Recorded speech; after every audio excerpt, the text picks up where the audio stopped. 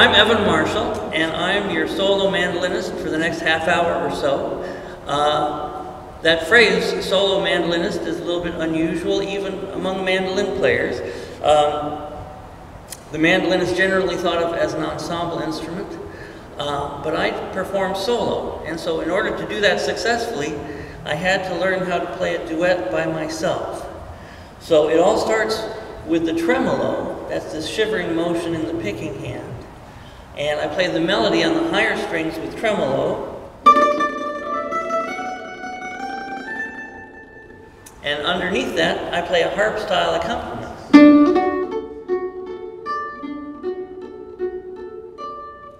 And in order to do both of those at the same time, I have to put holes in the tremolo. If I slow it way down, you can hear the holes.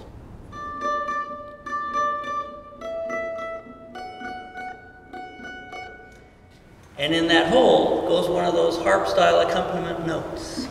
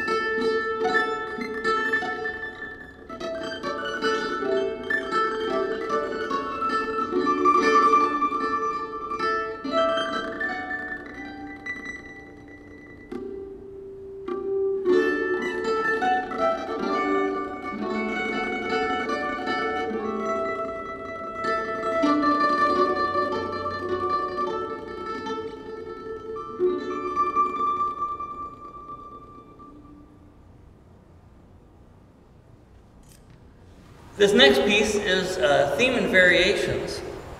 Um, I get to say it's an original composition because that's the tradition with theme and variations in the classical music tradition. Uh, but I had a lot of help, a lot of help from uh, the provider of the theme, uh, Ludwig van Beethoven. Uh, it's always good if you're going to write a theme and variations to choose a good theme to start with. And so this is the Ode to Joy theme from the, the Ninth Symphony.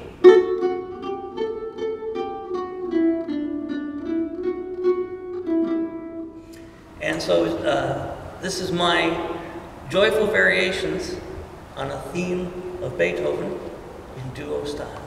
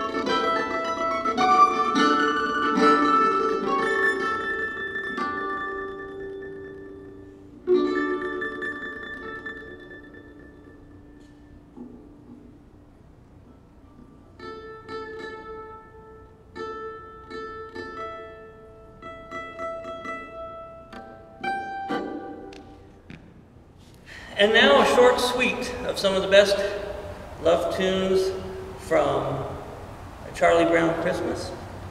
Tunes by Vince Guaraldi. Skating, Christmas time is here, and Christmas is coming.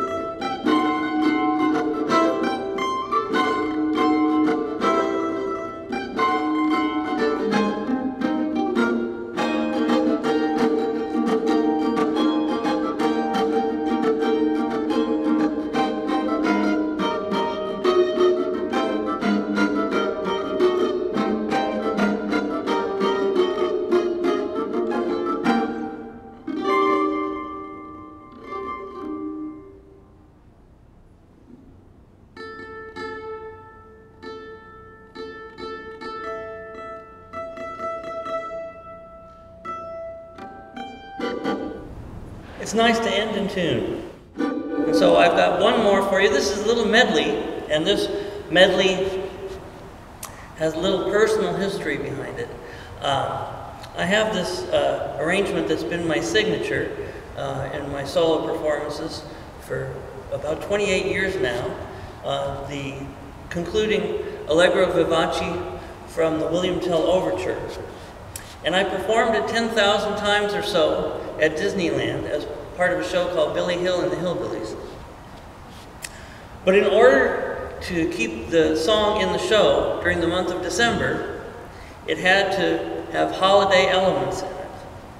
So um, it takes a little detour. It's, it starts off sounding like Rossini, but there'll be a little bit of a detour in the middle.